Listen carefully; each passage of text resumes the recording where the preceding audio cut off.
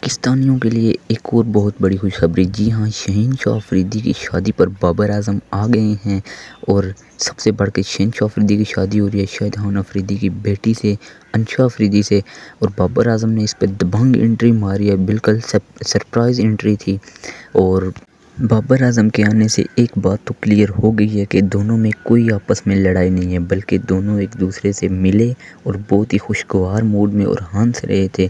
बिल्कुल ये ज़ाहिर नहीं हो रहा कि दोनों की आपस में कुछ है और याद रहे शहन शाफरीदी की बारात थी, जिस पे बाबर आज़म आए और बाबर आज़म ने आके शहन शाफरीदी ने बल्कि खुद पहल की थी जो फैमिली वाला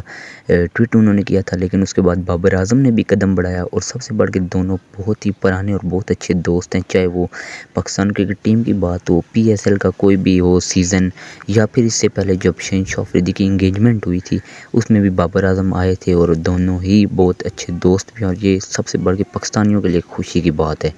कि हमारे दोनों सुपरस्टार एक मरतबा फिर गुल मिल गए और दोनों ने दोस्ती की कदम बढ़ा दिया। और रही बात दोनों की, जो लड़ाई हुई थी, वो भी एट ऑफ़ द मोमेंट हो जाता है। अगर टीम हारी हुई हो और ज़ाहिर प्रेशर भी होता है और टूर्नामेंट से अगर आउट हो जाए और सबसे बढ़ के अगर आप फेवरेट हों तो ऐसे वाक़ात पे ऐसे हो जाते हैं, मौक़े पे ऐसे वाक़ात हो जाते हैं तो ये दोनों तरफ़ से अब सुलह हो गई है और उम्मीद है कि पाकिस्तान वर्ल्ड कप में जाए, अच्छी कारकर्दगी दिखाए और कप ले आए, बस।